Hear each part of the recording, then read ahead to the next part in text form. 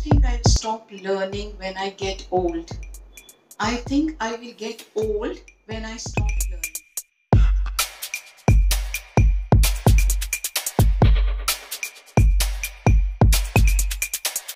Hello, thanks for watching my channel. Welcome. Everybody has some dreams to fulfill.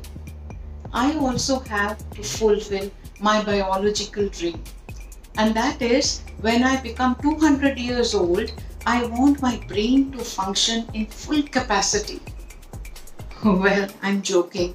I don't want so much of longevity, but I definitely want good biological functions, the good quality of life. And I'm sure everybody wants it. And there is one step program for that, and that is use it or lose it.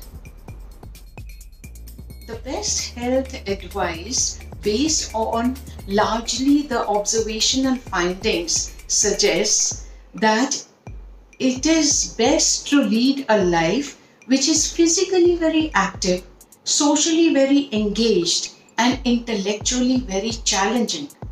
It is not the age or the passing time that causes memory loss. Rather, when we stop using the brain, that it starts atrophy.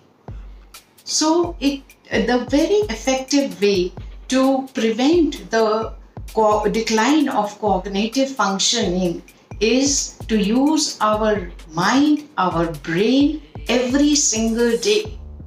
Our uh, brain remains malleable even in old age when we are giving stimulating activities to the brain, like playing games like chess or bridge, or doing word puzzles or Sudoku, or learning uh, new skills.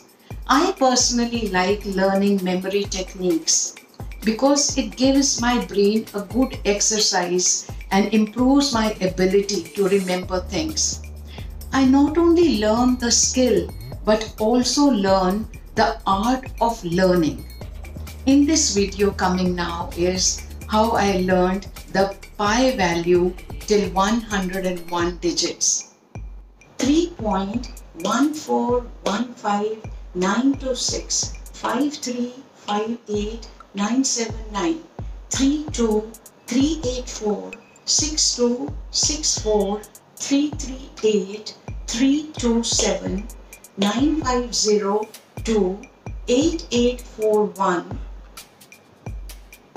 971 693 99 375 105 820 974 944 592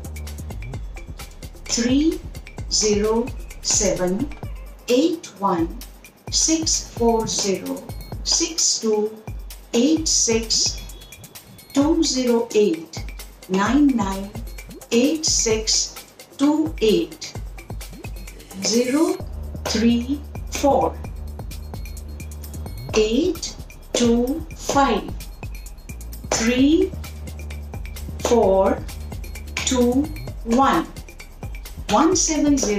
679 I don't think I'll stop learning when I get old. I think I will get old when I stop learning. And let me tell you, uh, I don't want to open the fridge and then think why I did that. And I don't want to keep asking where I have left my car keys. And no one would want to do that. Thanks for watching my video till the end. Please subscribe my channel if you haven't done till now.